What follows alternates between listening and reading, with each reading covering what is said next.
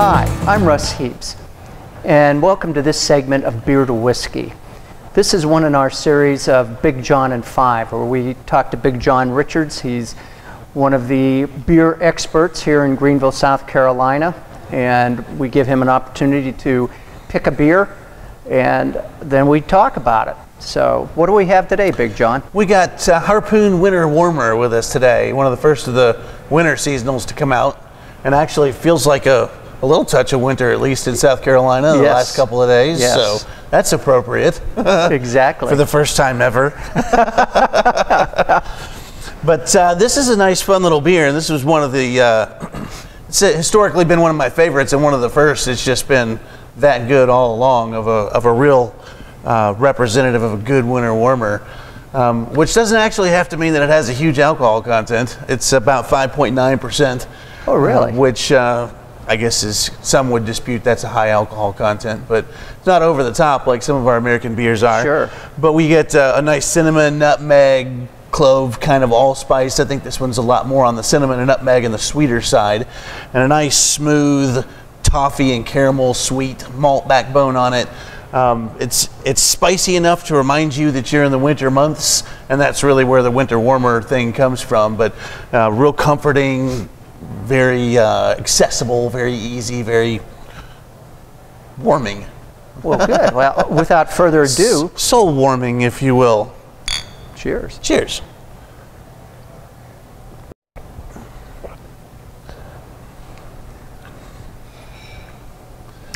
I I'm, I'm warm all I over. know uh, uh, this type of thing. I know is is at least somewhat up your alley. Yes. I think. Yeah. Uh, and you know, it's that, like I said, that nice, easy, accessible um, taste profile, if you will.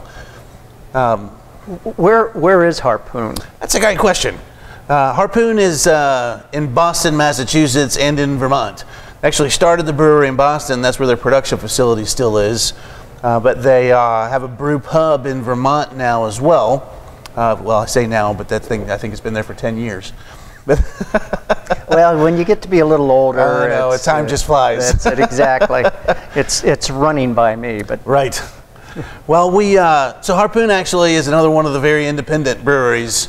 Um, in fact, it's employee owned. They have a, uh, I think, just some three or four years ago, did an employee stock purchase Oh, really? option where they allowed the employees to buy out the brewery, which which gives them obviously some kind of job security and some kind of security that they're not going to just get uh, snatched up by one of the big guys. right. So, in your search for supporting real independent craft, Harpoon's a great way to go, even though they're 30 years old. Really? I believe 1988 is when they started. Yeah. Do they have uh, pretty much a full portfolio of beers? They do, straight down the line, got a great portfolio.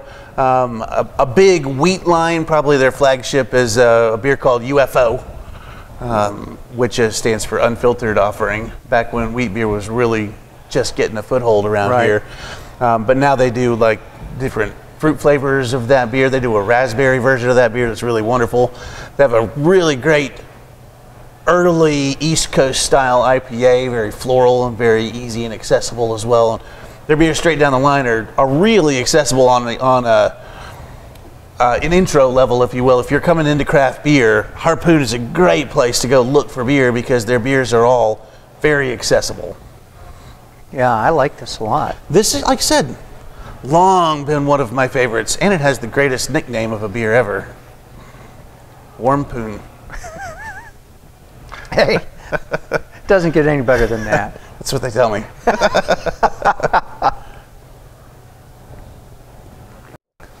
So, anything we, else we should know about it? Do you think? Um, this that's a. We can continue talking about almost anything, other than describing what a real winter warmer is. Which, if you're looking for one, this is it. right. Um, you know, we've we've pretty much run the gamut on this one. Well, i- i- if that's the case, then until next time. Cheers. Cheers.